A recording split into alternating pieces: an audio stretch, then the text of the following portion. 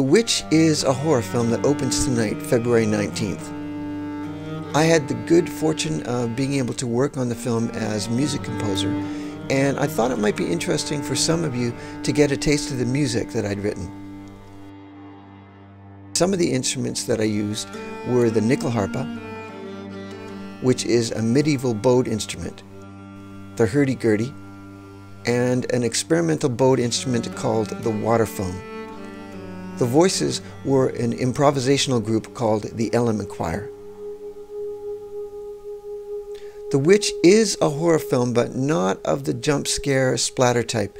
It's closer in style to Ingmar Bergman or Roman Polanski. It's all about mood and texture and great storytelling. Beautifully shot by Jarin Blaschke and written and directed by first-timer Robert Eggers. He's got a long resume as a production designer and it shows. This is a very low budget film, which I find tremendously inspiring. I've read that the production budget was somewhere around 1 million. The visuals at times look like they're right out of a Rembrandt painting. It was shot mostly with natural light and triple wick candles.